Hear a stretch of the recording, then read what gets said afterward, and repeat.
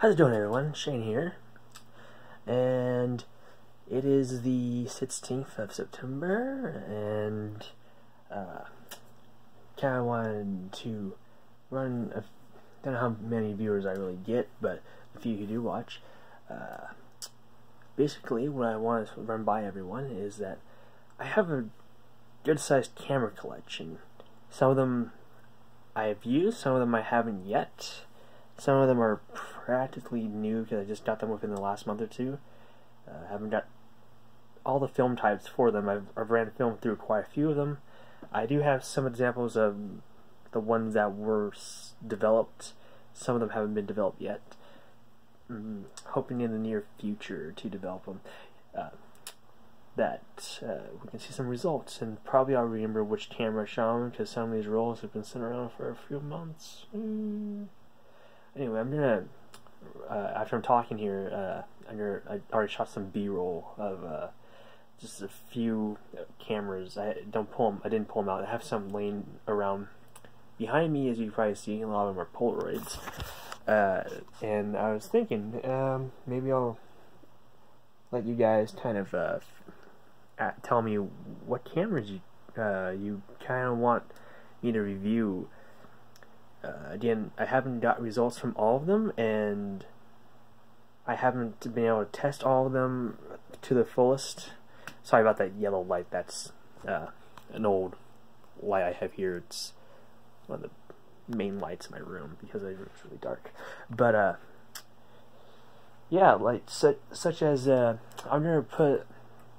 You'll see the B-roll soon, but I'll also put on the in the description a list of the cameras I have and uh, what I can do is I'll just like pick them up as often as I can and I'll just do quick little over reviews and reviews and some of the history on these cameras because that's kind of what this channel is now doing is I'm mainly focusing on photography right now and uh, I still do design work like I said in my update video a couple days ago.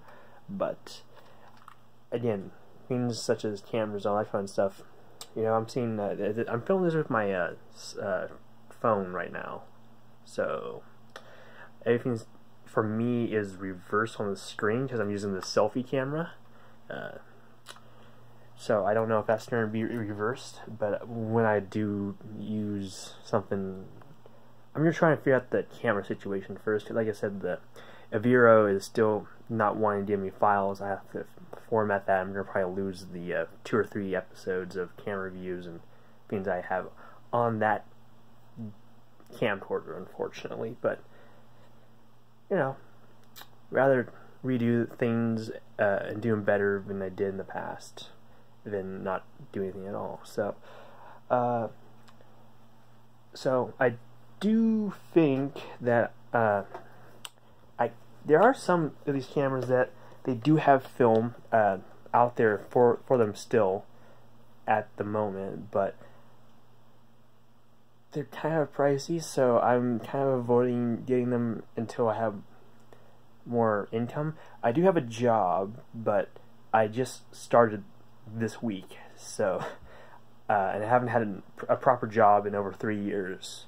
Mainly because I was a student, and also because where I live, it's not heavily like open to hiring younger people.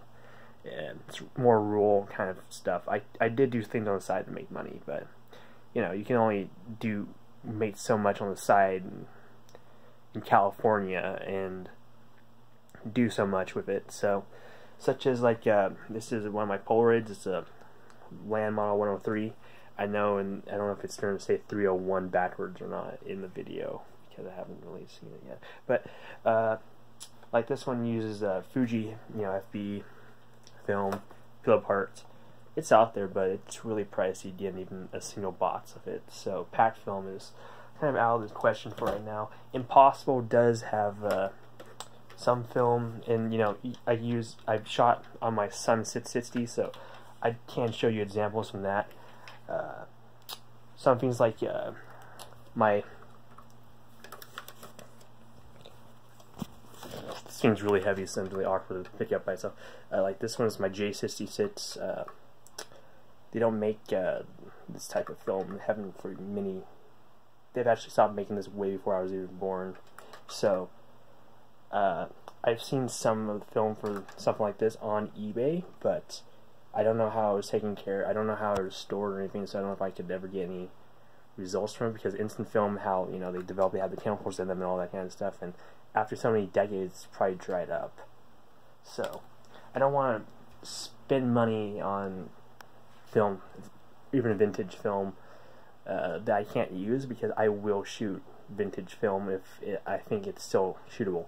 I I like collecting the cool look of films, but at the same time, I don't I don't like to sit it sit around. That's just my personal thing. If you collect vintage film, that's cool.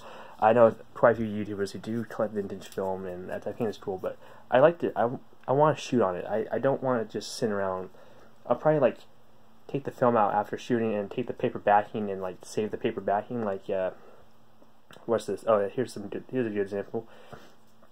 This is some uh, Chrome I got out of a camera. It was already shot. It was at the last exposure, and I just started uh, winding it up so I could. Uh, uh, it's a mystery. It's found film. I don't know what's on it. Haven't developed it. I also have some Kodak color that I found in uh, one of my Kodak cameras. That uh, it's a sits sits twenty film. I haven't developed it. Haven't sent it out. I don't have the capability of developing myself. I have developed a little bit. I'm going to bring that camera up a little bit at a friend's house, and I only I developed some 120 film. It was pretty good, but uh, as for color capability, I don't have anything for developing color myself. And me personally, at my house, I do not have uh, any tanks. I have reels. I don't have tanks. I don't have all the tools. Some of the tools, not all of them. I have paper. I have an enlarger. Doesn't it needs a bulb? Uh, so it's it's like I think I mentioned before. It's a lot of piecework in order for me to uh, do more stuff for the channel in my own time, which I only have the weekends off now. Which it is what it is. But I am I am working, and uh, a lot of the money I am making from my job is paying off some overhead debt that I've been in for a couple of years. So I can't go out and just spend it on this. I I want at some point to be able to uh, kind of make a job at using vintage cameras to do photo shoots and photography. But for for the time being, uh, I just use them. I kind of collect them, you know, fix them up, make them work as well as I can, unless they're not fixable. Because I have gotten a few cameras over in my bin over here. Don't think you can see it, but this bin right here. You see my hand? Yeah. This bin, yeah, there it is.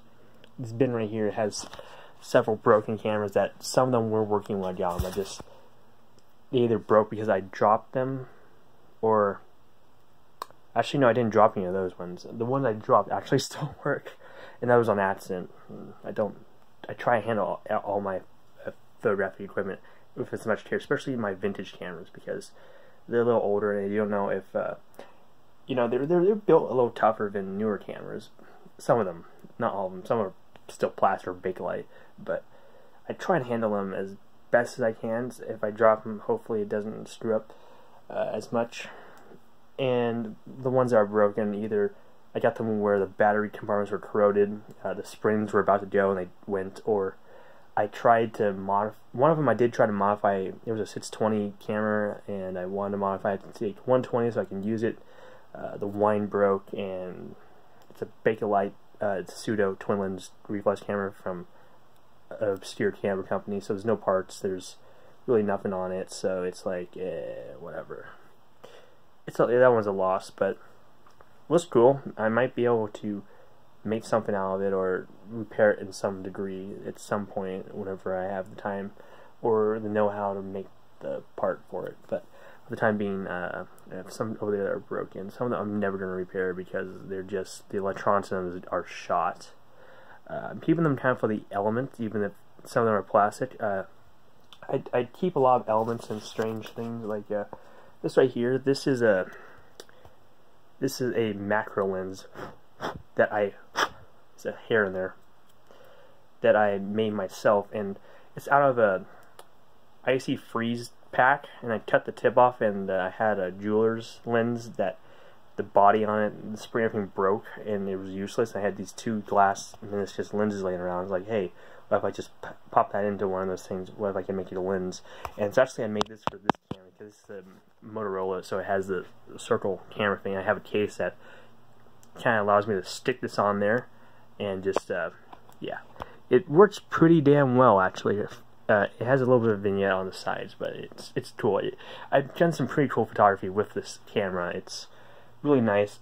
I don't knock digital cameras. I own two really older digital cameras. Uh, I still haven't got, went out and done a professional DSLR or mirrorless camera. I want to because I because I want to be able to do digital and film. I love film myself. I love analog so much, but I'm also willing to uh, take the plunge a little bit and get a decent digital camera so I can do more professional shoots when I'm out and doing stuff.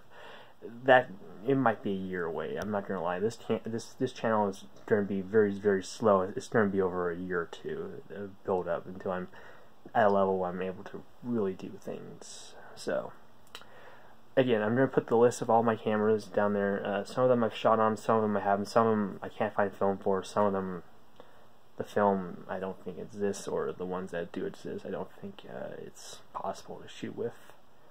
But you never know. Uh,